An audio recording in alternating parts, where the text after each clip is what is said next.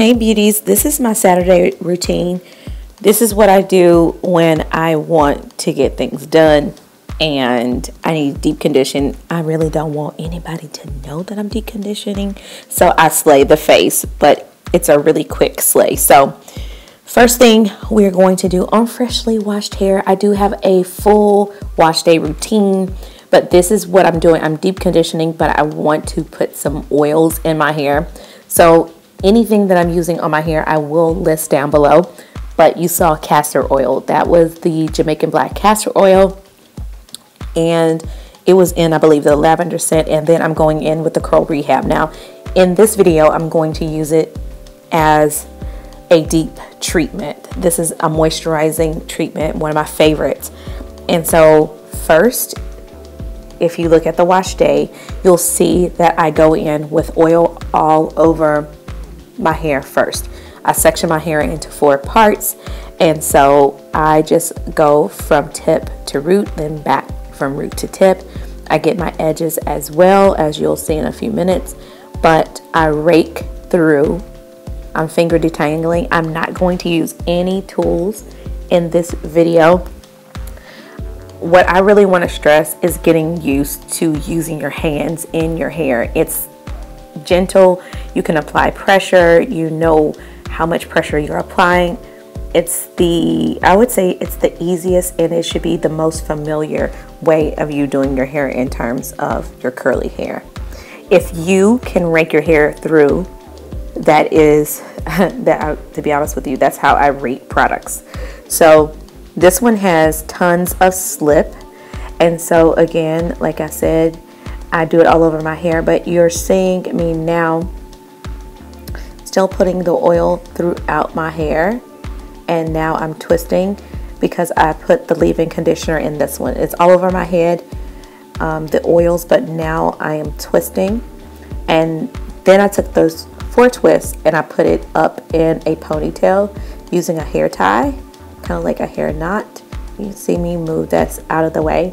Really don't care how my hair looks because I'm about to wrap it. Now this is a like what you would call a lock sock. This is one for the Chargers. Go Chargers!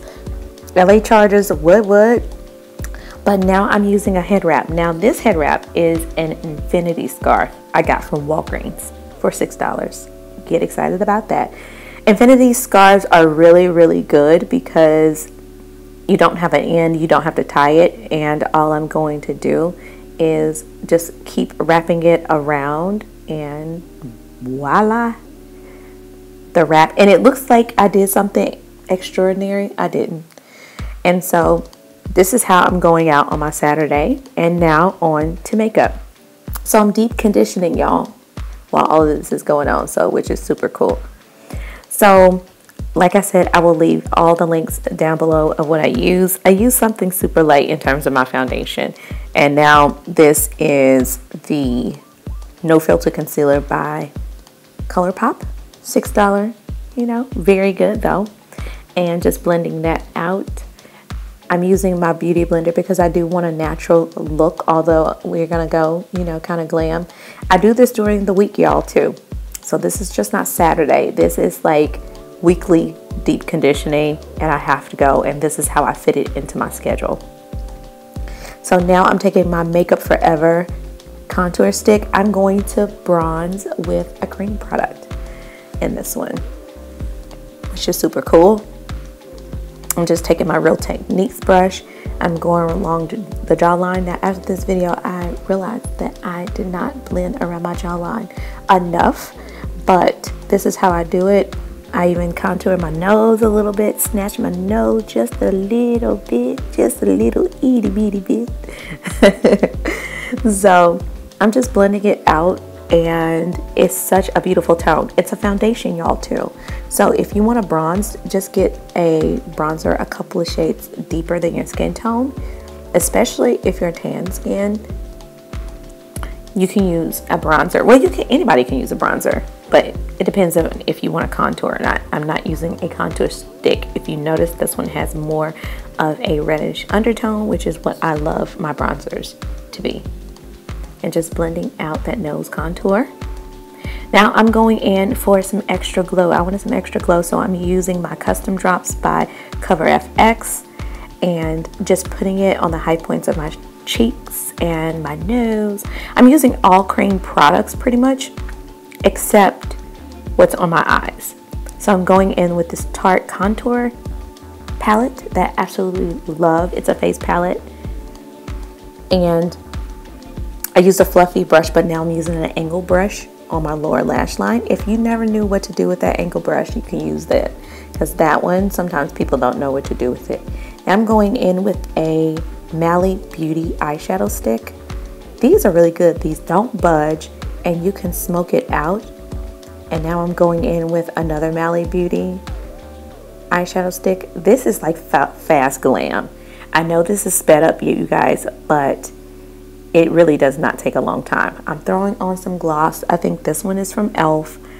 And using my Smashbox Primer Water just to enhance that glow.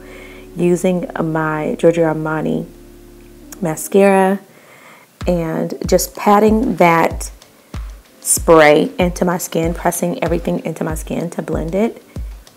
This is like using all pretty much cream products on my face and just finishing off with some mascara and we will be done. Absolutely love this. Literally this look without doing this in voiceover, it takes me about five minutes to be honest. So really, really nice, especially when I have everything there. That's the whole thing. When you're not looking for everything is when you can do your makeup really fast. So every day, have an everyday makeup drawer or have a stash of stuff which you use and that is what's going to make the time go by really fast. Just throwing on some blush. I think this is the only powder that I'm putting on my face and I love it. Same thing from the face palette and that's it you guys. This is how I get throughout the day and get the makeup done, go.